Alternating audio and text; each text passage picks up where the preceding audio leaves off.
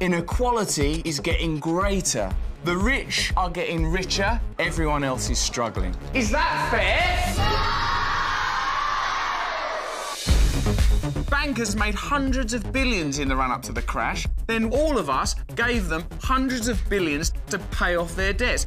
So we were in debt. Cheers. Because we are all in this together. There will be cutbacks, closures, jobs will be lost. Did the bankers pay back their huge bonuses? No. They carried on making more money.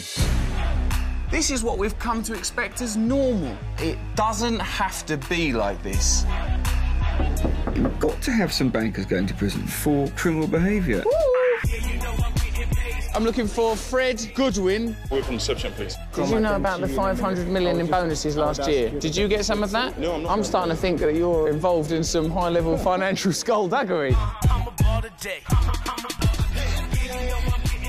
If you've seen any of the men on this van, do not attempt to approach them.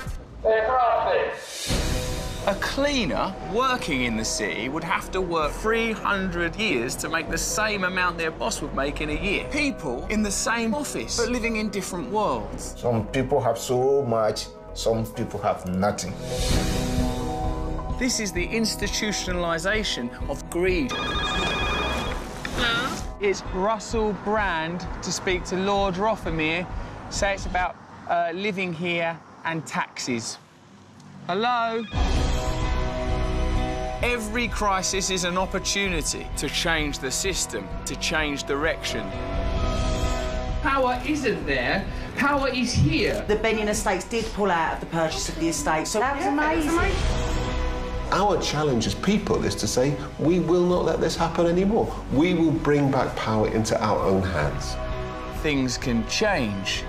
Things do change.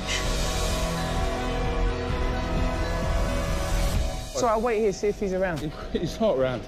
He must be up there working. Four million a year, he's probably grafting.